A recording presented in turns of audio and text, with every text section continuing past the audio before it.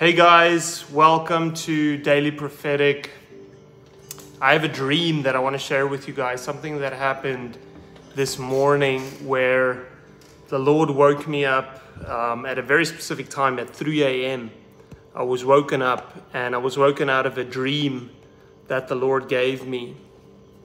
And, you know, these are things that I have actually spoken about this before but it's almost like the Lord is emphasizing this the whole time. I think it's about the second or third time that I've had a similar dream.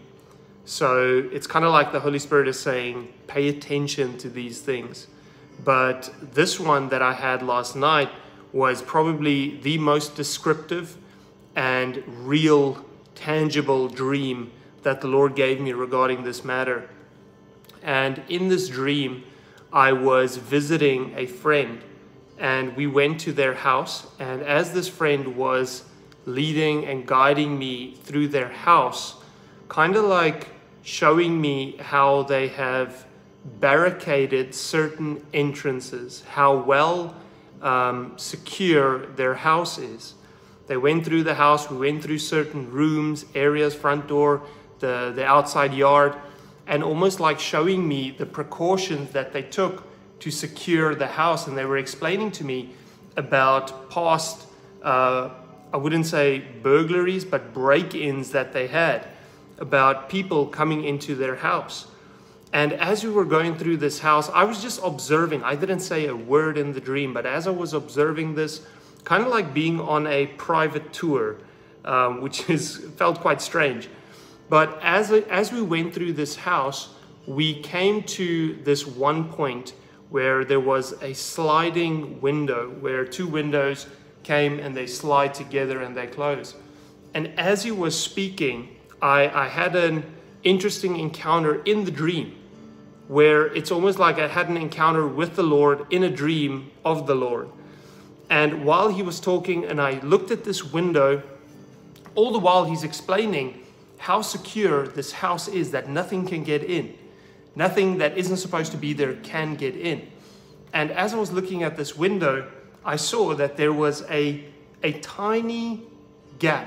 Like you, you think the window is closed, but it isn't. You think it's locked, but it isn't. How there was a little gap between the window. How someone can put their fingers in there and open up the window. And it was the most surreal feeling that I had. It was almost like my eyes got laser focused on that window that was open like a millimeter, like, you know, an eighth of an inch. So small. You can't even see it with the naked eye from a distance. And as I was looking at this, I didn't mention anything about the window being open. And immediately when I woke up from that dream, that was the entirety of the dream. But when I woke up from that, the Holy Spirit started speaking to me about how we barricade our front door, our yards, all the big and obvious entrances we barricade from the enemy. The things that we know that we might be, have been struggling with in the past, we barricade those entrances and we keep them well shut. But sometimes there are these little side doors, these little windows that we don't think is that important to check up, that we don't think is that important to close up, to be certain that we have to check these things. I'm talking about sin, guys. I'm talking about sinful habits, things that we need to keep in check in our life. That was the analogy that the Holy Spirit drew when I saw these entrances and the doors being barricaded, keeping the enemy out of our houses. The Bible tells us that do you not know that your body is a, is a house, is a temple of the Holy Spirit? And the enemy is constantly trying to infiltrate your life, constantly trying to get in, uh, find ways to, to get into your house, to get into your life, to wreak havoc in your house. And how the Holy Spirit was speaking to me about these little foxes that spoil the vine, little foxes that can spoil the vine. And he gave me the scripture in Song of Solomon's 2 and 15. Song of Solomon's 2 and 15. If someone can comment that, that'd be great.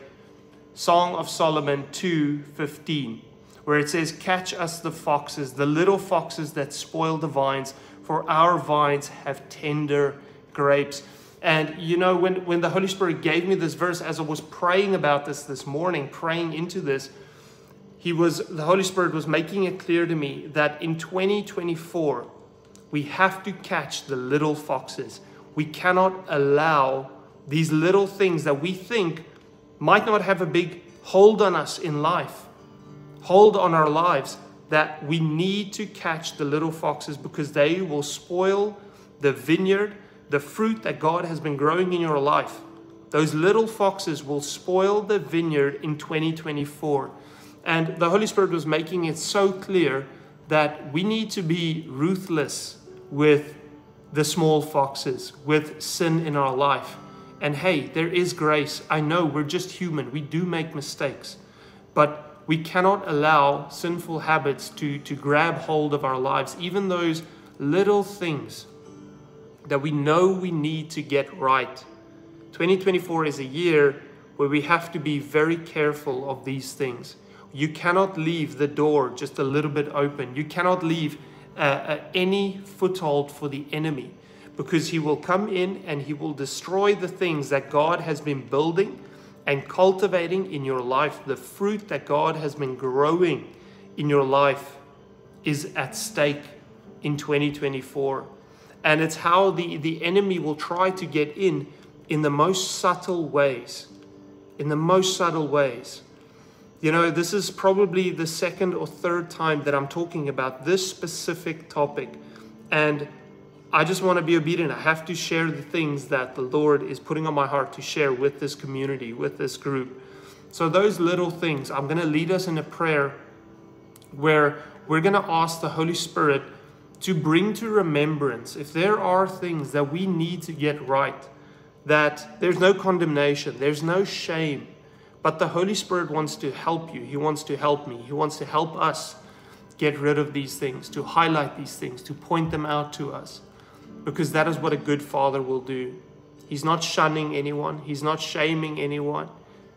There's no condemnation in Christ. But the Holy Spirit wants to help us. The sanctification process is so important in the Christian walk and the Christian life.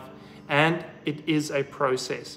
But the Holy Spirit is there to help us take our hands and walk us through this, walk us through repentance, walk us through uh, sanctification, and walk us through the process of becoming so like Christ that when, when people hear you speak, when people look at your life, they see Christ within you. Amen. So, guys, I want to lead us in a prayer and just take the time. Let's just take a moment that if you aren't in a place right now where you can pray, listen to this video afterwards in your quiet time. Just do this prayer with me and ask the Holy Spirit to highlight areas in our lives that we need to get right, that He wants to step in and cleanse and sanctify. In Jesus' name. So, Lord, I pray right now, Holy Spirit, I pray that you bring to remembrance if there is anything that you want us to be aware of, of those little foxes, Holy Spirit, I pray right now, make us aware of those little foxes that shouldn't be there. Holy Spirit, I pray that you show them right now. Speak to your people. Just highlight those things, Lord. Jesus, we want to be so like you. We want to be Christ likeness. Lord, I pray that you highlight those things. And Father, I also pray that you give us the strength to deal with those things. Father, if there are people dealing with addiction, we break the power of addiction right now over your people's lives. We break the power of lust over your people's lives right now. In Jesus' name, we break the power of intrusive thoughts. In Jesus' name, we break the back of the enemy right now. We break the hold that the enemy has over God's people right now. In Jesus' name. Holy Spirit, I ask that you look at our hearts and look at the sincerity of our hearts where we come before you confessing those things. Lord, repenting of anything that we need to repent of, anything that we need to get clean with. Lord, we come right now and we lay it at your feet. The Word of God says that we can approach the throne of grace boldly. Boldly. So, Lord, we come to you boldly right now and say, Lord, have mercy on us. Show us grace and forgive our sins. Jesus, we ask this in your mighty name. Amen. Guys, not everyone is, um, maybe it's not possible to, to pray with right now where you are, but please, I'm, I urge you to listen to this message again afterwards and ask the Holy Spirit to highlight the areas that He wants to sanctify, that He wants to work on, where the fruit of the Holy Spirit, where He wants to cultivate that even more. Galatians 5, the fruit of the Spirit, where He wants to cultivate that in our lives even more in 2024. Amen.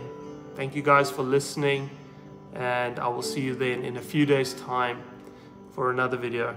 God bless.